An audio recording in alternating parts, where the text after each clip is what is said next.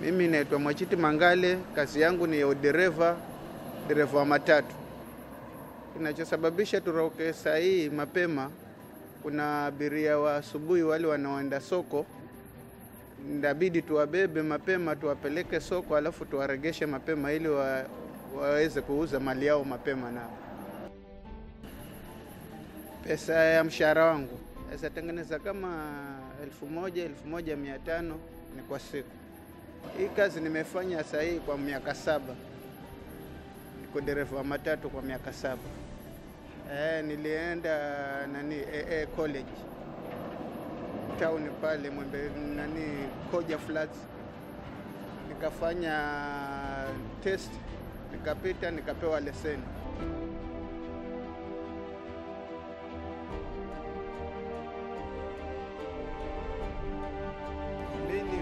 Ruti ya Miritini Mwembe.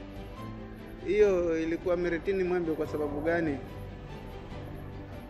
Kule town magari ni mengi na kupata abiria ni kazi ngumu sana.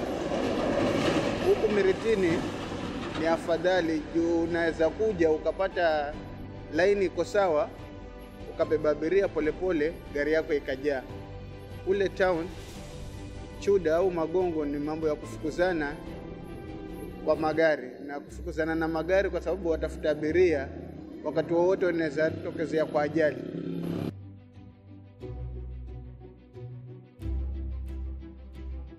Changamoto ambazo ziko kwa hii kazi ambazo zinakumbana nazo ni askari. Jambo la kwanza, askari atakuuliza vibali, akuulize kila kitu ambacho kinatakikana kwa barabara.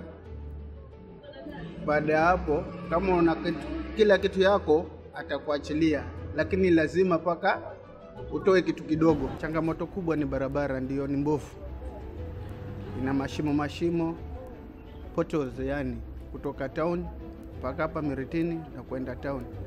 Kwa hivyo ukifanya kazi, ukifika jioni, mwili wa kuuma na itabidi uchukue muda mrefu wa kupumzika.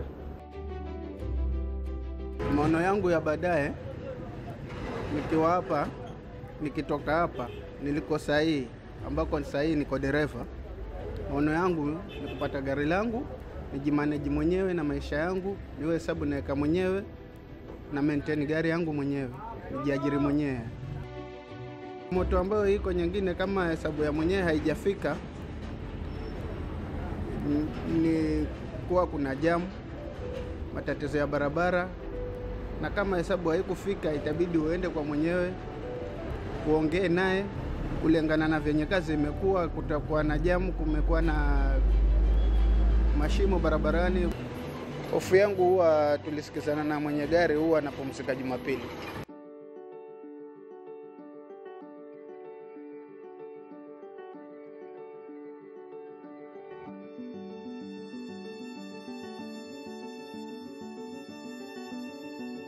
Siku yangu haikuwa mbaya, imekuwa nzuri, imekuwa nzuri.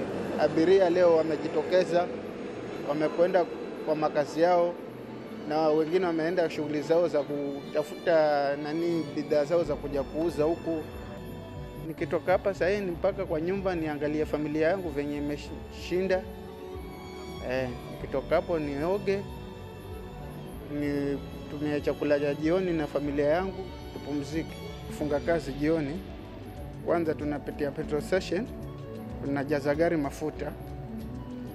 Tukijaza gari mafuta, tunatoka petrol station tunaenda car wash, tunaosha gari, tunamaliza.